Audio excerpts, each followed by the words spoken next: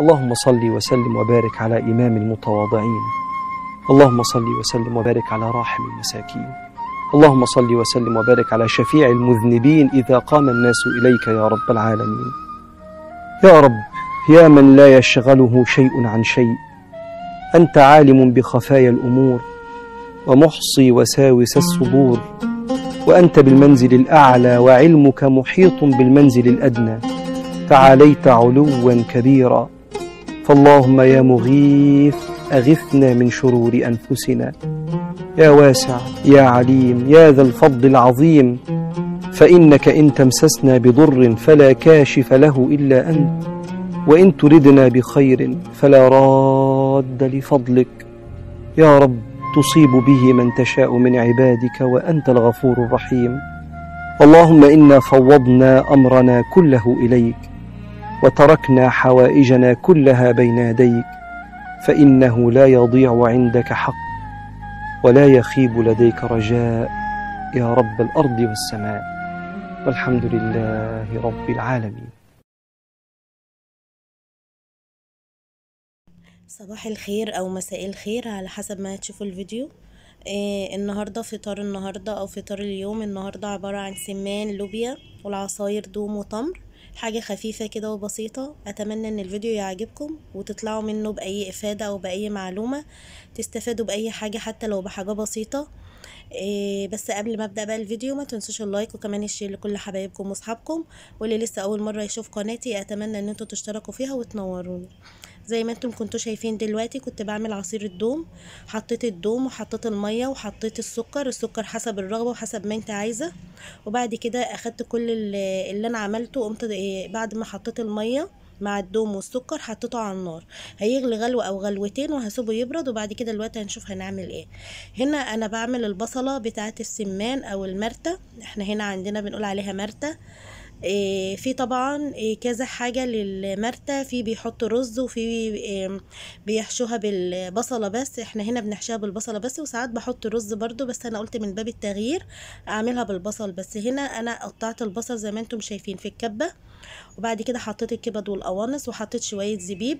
وبعد كده بدأت ضفت البهارات بتاعتي.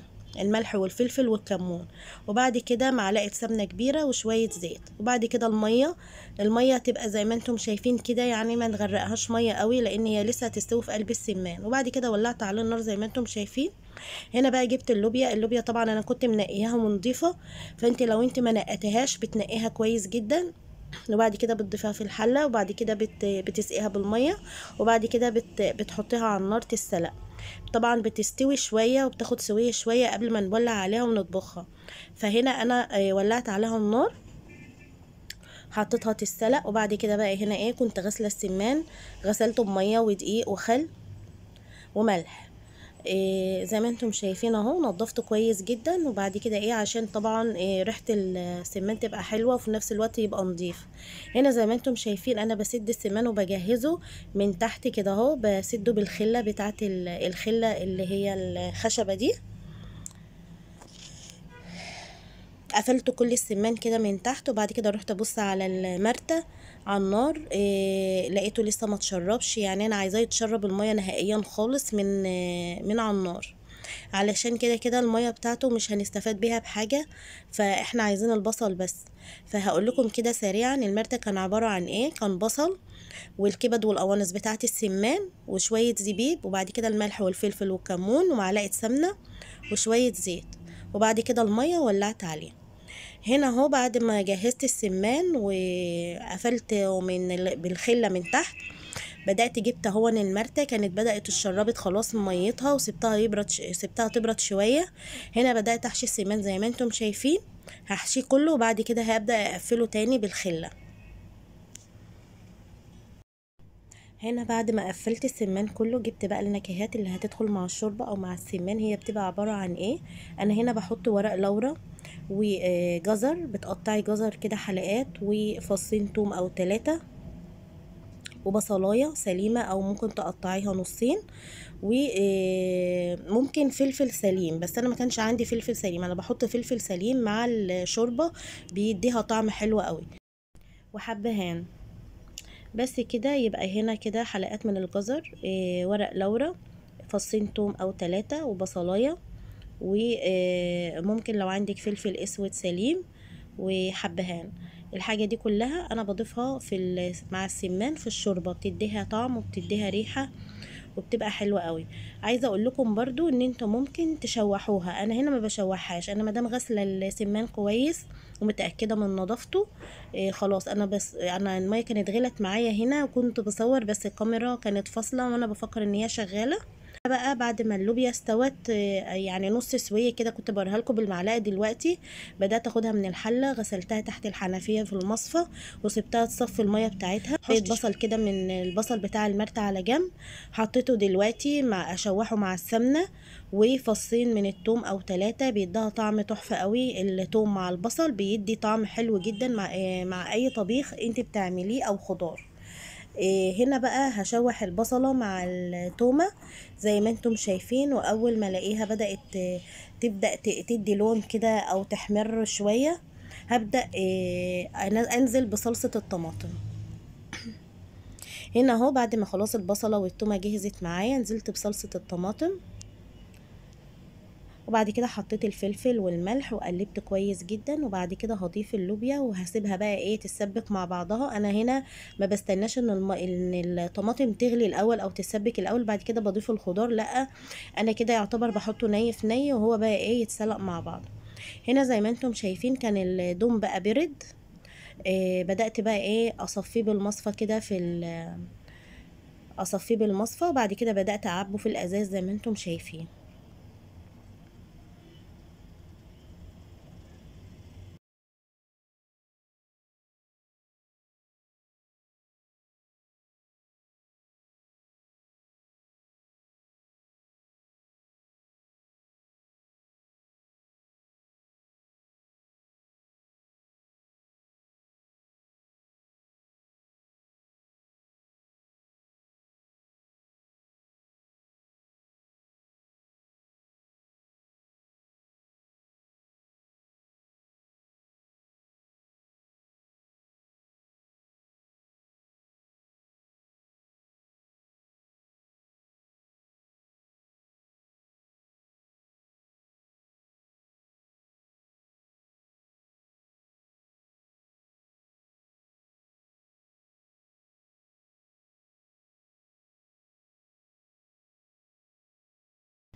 ده كيس آه، تمر جاهز آه، الصراحة أنا أول مرة أجيبه أول مرة أجربه فقلت يعني أجيبه أجربه. ف ده هو بودر. فجبته بقى وقلت ما أجربه بس لقيته حلو طلع في الآخر حلو يعني. أنا هنا ضفت آه، بتاع ست معالق كبار. على لتر مية. هنا مكتوب في الكيسة بتاعته إن أنت تضيفي آه، لكل معلقة كوباية آه، كوباية مية لكل معلقة من من العصير التمر. بس أنا حسيته إن هو هيبقى خفيف. أنا بحب ببقى أزود البودر علشان يبقى ليه طعم. هنا أهو زي ما أنتم شايفين حطيت اللتر. عليه ست معالق آه ست معالق من التمر. دوبت كويس بالمعلقة وتأكدت إن السكر بتاعه أو العصير بتاعه داب وقمت إيه ضفته في الإزازة زي ما أنتم شايفين. طبعا بقى أنا كده خلصت العصير الدوم والتمر هحطهم بقى في التلاجة أدخلهم التلاجة عشان يسقعوا كده شوية. وبعد كده آه نبدأ نشوف هنعمل إيه تاني مع بعض. هنا كان في بقى شوية في الكيسة فقمت حطيتهم في البرطمان آه عشان يبقى سهل بالنسبة ليا في الاستخدام. هنا بقى هنيجي بقى لل... للخلطة أو للصوص آه، آه، اللي إحنا هندهن بيه السمان وندخله الفرن.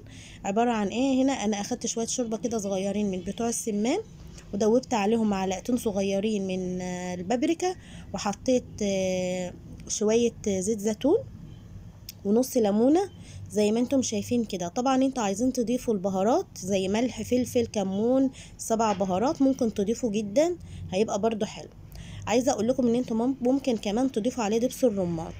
هنا زي ما أنتم شايفين بس هي الخلطة دي بجد رهيبة وتحفة وتخلي السمان كمان ليه طعم تحفة. وكمان هيطلع من الفرن كله لونه واحد وهيبقى لونه متحمر كأنك محمراه من فوق. أنا بحب أحمر الحاجة أو بحب أدخل الحاجة في شواية الفرن علشان ما يشربش زيت وفي نفس الوقت يبقى إيه صحي وفي نفس الوقت كمان هتلاقيه ولا كأن أصلا كنت حاطاه في الفرن. هتشوفوا دلوقتي اللون ما يطلع من الفرن عامل إزاي. هنا أهو بعد ما دهنت السمان كله وطلع بصوا شكله. بصوا التحميرة اخد تحميرة كلها إزاي؟ هنا طبعا كنا دهنا. الوش اللي فوق. أنا هقلب السمان دلوقتي وأدهن الوش التاني وأدخله يكمل الفرن الناحية التانية. عايزة أقول لكم ما باخدش وقت كمان في الفرن خالص. يعني لما تدهني كده الصوص أو ال ال الخلطة اللي أنت عملتيها دي هتلاقيه بيحمر معاكي بطريقة على طول. الليمون والزيت مع البابريكا بيخليه يدي لون بسرعة في الفرن. هنا زي ما أنتم شايفين بقى جبت كان عندي حلويات جايباها جاهزة الصراحة ما عملتش حلويات فجبتها كده رصيتها في الصينية زي ما أنتم شايفين وقلت اما احضر بقى إيه أنا كده خلصت الأكل وولعت عليه كله. بدأت بقى إيه احضر هنا الحلويات ورصيتها في الصينية زي ما أنتم شايفين.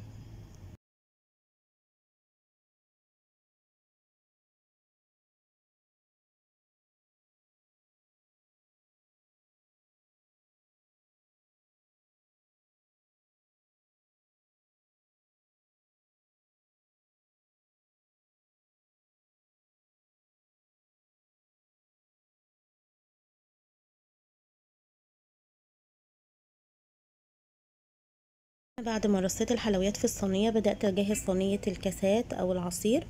إيه زي ما أنتم شايفين جبت الصينية بقى وجهزت الكاسات كده وحضرتها وقمت حطيت على كل كاس شلامو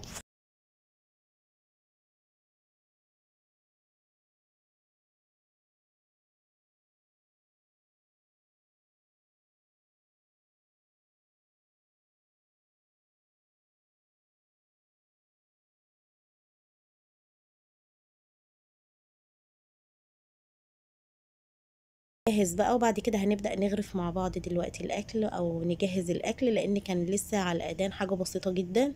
إيه بدأت طلعتهم بقى بره وبدأت حطيت الأكل جهزته زي ما أنتم هتشوفوا دلوقتي. هنا بقى بدأت أجهز الأكل زي ما أنتم شايفين. أي مطبقية عندكم مدورة ممكن تحطوا فيها الرز تدي شكل كده زي ما أنتم شايفين. أي حاجة عندكم مدورة. هنا إيه بكار كنت حاطة فيه المعالق الخشب. حطيت فيه المعالق كده يبقى حلو قوي على سفرتك. هنا كده كان الأكل خلاص جهز إيه غرفت اللوبيا والرز والسمان. وحطيت الشوربة في المطابق أو الطواجن. إيه عايزة أقول لكم إن الأكل طلع تحفة والسمان طلع خطير بجد. أتمنى يكون الفيديو عجبكم النهارده وتكونوا استفدتوا بأي حاجة حتى لو بحاجة بسيطة ويكون الفيديو كان خفيف عليكم. إيه استنوني بقى إن شاء الله في الفيديو الجاي. مع السلامة.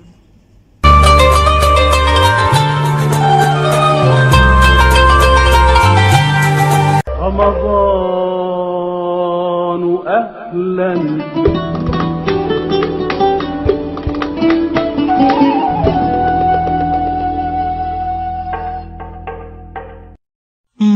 مرحب مرحب يا هلال. أهلا أهلا كيف الحال؟ قد غبت وإليك اشتقنا. وانتهى بعدك صار وصال. نعطي صبرا نأخذ أجرا. والله يرانا ويسمعنا نغفر زلا.